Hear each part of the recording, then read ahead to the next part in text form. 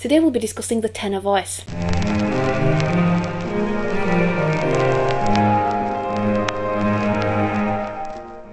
As you know, I'm writing an opera. Yeah, I'm still going to write this opera. Uh, Also, I thought I'd revise these voice types and make a comprehensive lecture series about the different voice types. I actually find them very interesting. Another reason why I wanted to go over this is because I'm the opera that I'm writing uh, is going to include trans voices as well as traditional voice types. And the thing is, it, it, it's including trans voices, but voice types in opera are traditionally gendered, which has been a bit confusing for me at times. And so, this video is going to be a comprehensive overview of the voice types and their history so that we, mainly me, I guess, can understand the gendered side of these categories and how those categories today are falling away. I'm also interested in how voice types tend to define character types in traditional opera, things like stock characters. You know, it is absurd to categorise everybody's voice into these different categories because people are human, people defy categories and rules all the time, but they're a useful overview to understanding the voice and general capabilities, a very useful starting point, and we just have to remember that when we're working with different voice types, that people are human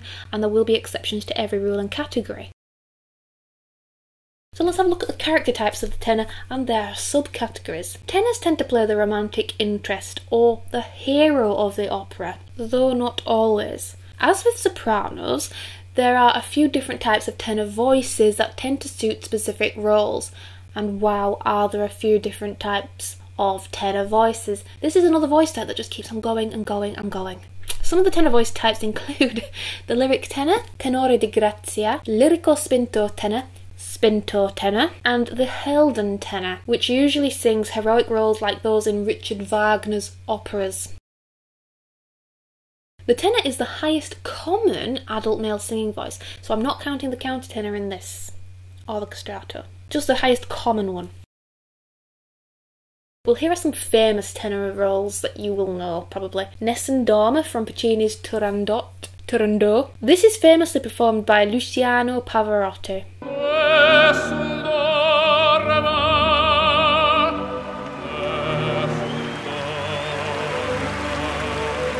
Rodolfo from Puccini's La Boheme. Che gelida manina se la lasci riscaldar Siegfried from Wagner's Ring Cycle.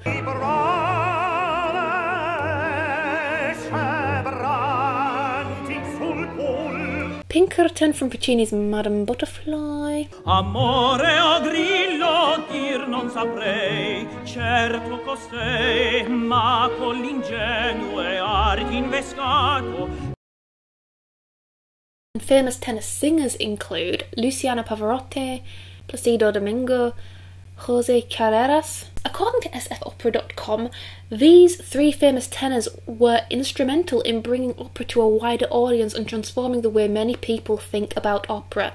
Just these three. I suppose they made them popular. Other famous tenors who are still active today include Jonas Kaufmann, Juan Diego Flórez, Andrea Bocelli, and Alfie Boe. Now let's have a look at the Leggero tenor. Leggero? Leggero. Someone said something interesting to me the other day. They were like, Why are you ashamed to mispronounce words? Because it just means you learnt them whilst reading. You just didn't hear somebody say it. According to David L. Jones of VoiceTeacher.com, the Leggiero tenor is often considered the male counterpart of the coloratura soprano. That's interesting and very useful to know about. So, if you want to know more about the coloratura soprano, check out my video on the soprano.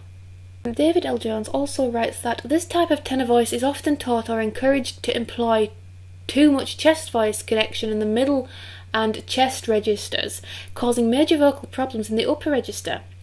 The mistake of overemployment of the thicker vocal cord mass is often made due to the rounder colour in the middle and low register, characteristic of this vocal fach.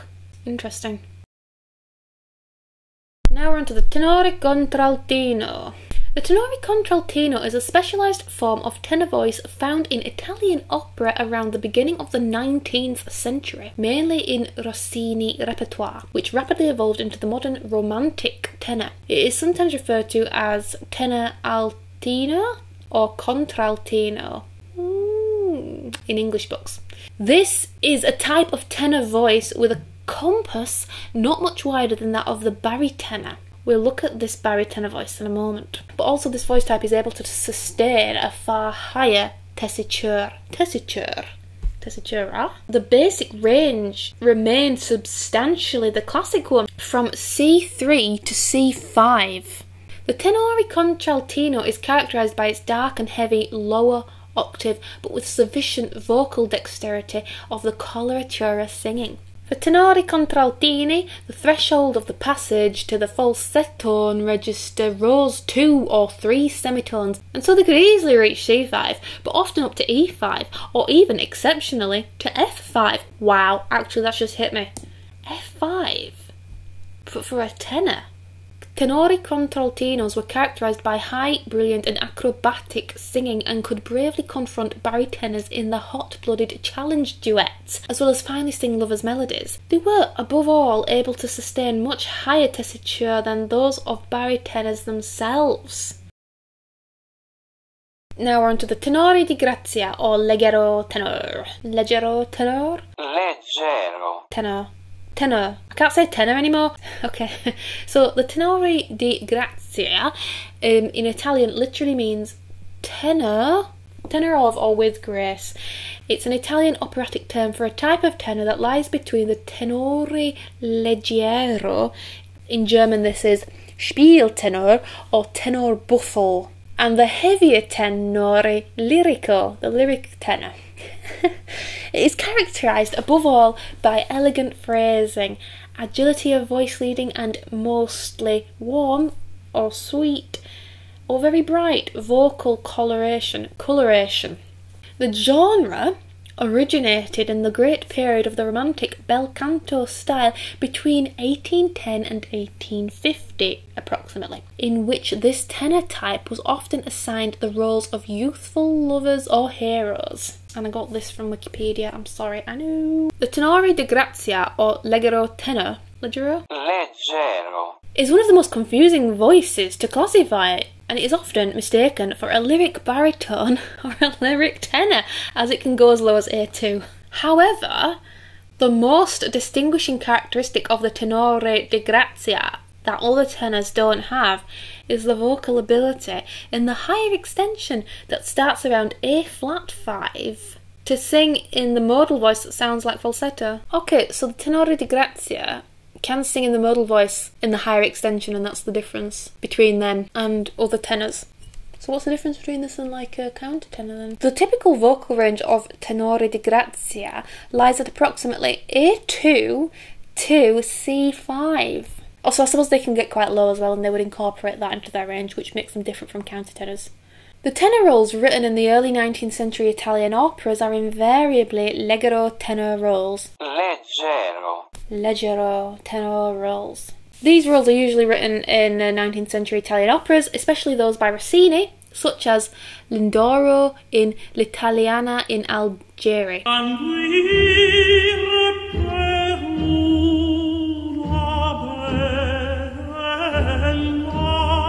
We also have Don Ramiro in La Cenerentola. Cenerentola. Cenerentola. And those by Bellini, such as Gualtiero in Il Pirata.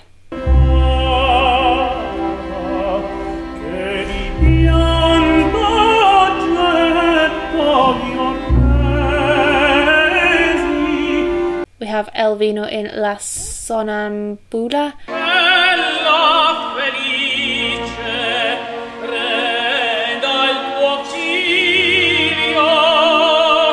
And many Donizetti roles such as Nemorino in L'Elisir d'Amor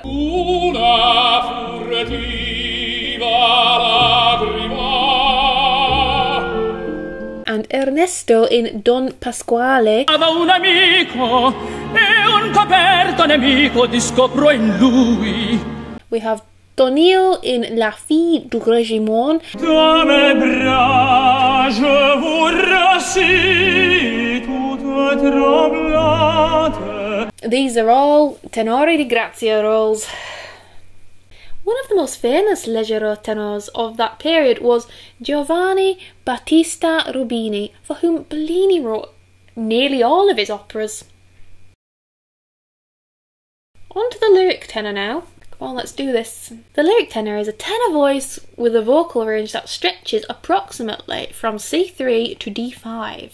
And it is characterised by a strong, but not heavy, bright, full timbre that can be easily heard above orchestral accompaniment. It's warm, bright, and capable of hitting the highest tenor notes with ease. Lyric tenors get some of the most charming operatic roles. A fairly broad category, these singers can range in tonal colour.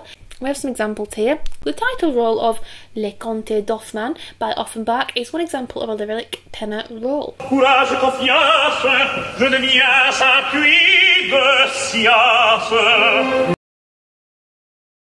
Now, spinto tenor.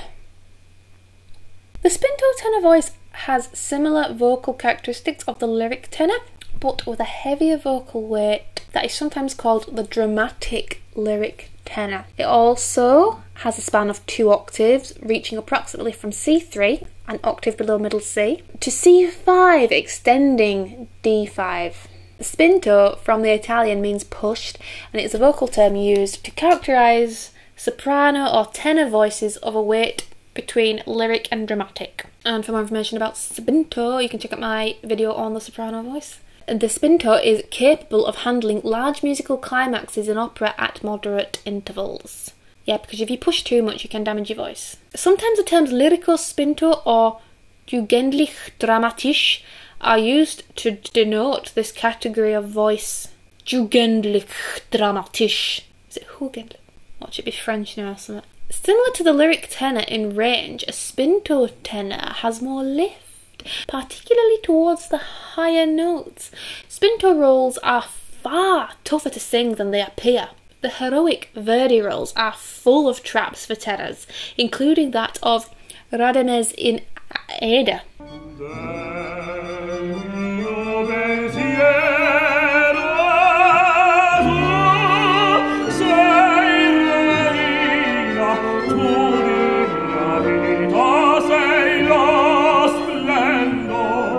His romanza Celeste Aida is a formidable challenge which is deftly handled, here by Ivan De Fabiani. Here is an excerpt from the Royal Swedish Opera's production, staged by Michael Cavanagh, and I got this again from sfopera.com.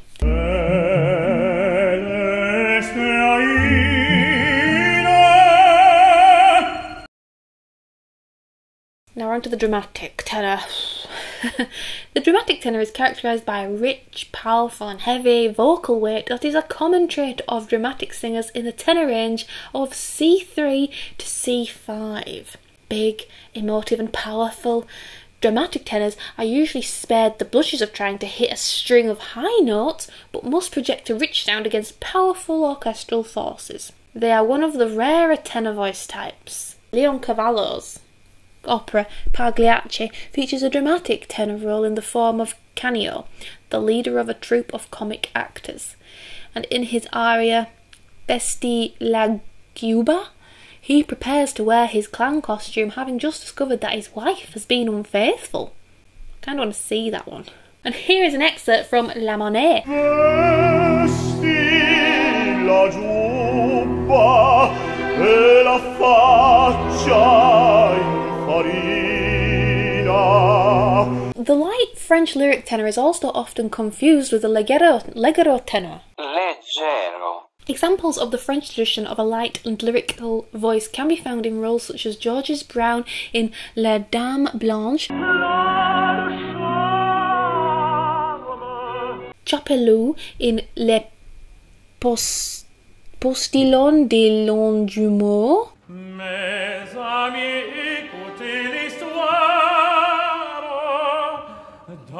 Nadir in Les Pêcheurs de Perles, Ah, cette voix, quel trouble agitait tout mon être. and Vincent in cœur est plein d'un noir souci qui l'arrête. and Gerald in Lakmé. Parle de Saint Bijou, est-ce donc aussi grand? Frédéric est. Helden tenor now. The Helden tenor is almost similar to the dramatic tenor in many aspects, but possesses a strong passaggio at higher notes. and the voice can support higher dramatic phrases. So passaggio, that's the break, isn't it? Does that mean it has to break higher? Stronger, or is that a good thing? But the held tenor can also execute the tenor's higher tessitura despite having a deep and thick vocal timbre and is often regarded as a baritone with higher extensions. Makes sense. And this kind of powerful tenor voice is normally used for the male heroic roles in the classical music performance or opera.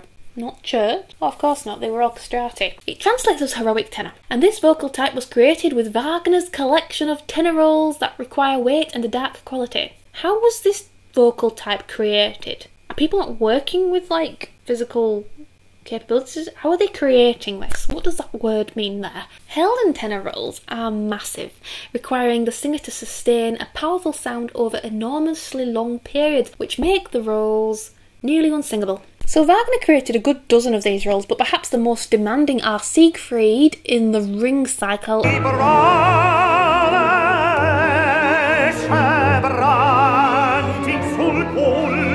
title role of Parsifal.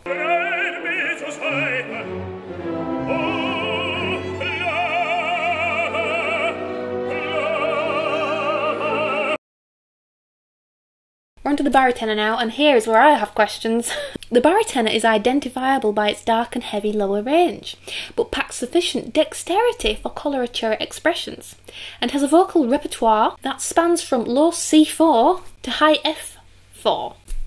That cannot be right. That's only like six notes, not including quarter tones. Literally, that's all composers have ever written for this voice. What? I don't know if this is correct or not. Just take it up with becomesingers.com or ask your local baritone. Such a small range.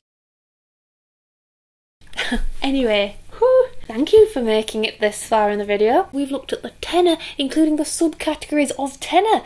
These include the tenore contraltino, the tenore di grazia or leggero tenor, leggero, the lyric tenor, the spinto tenor, the dramatic tenor, the Helden tenor, and the baritone. Stay tuned for the next video in the series where we'll be exploring the baritone. I'll see you there. Is one of the most confusing voices to class. is one of the. Uh, okay. The tenore di grazia. The lyric tenor is a tenor with a vocal range that stretches a foxtrot. Why can I not just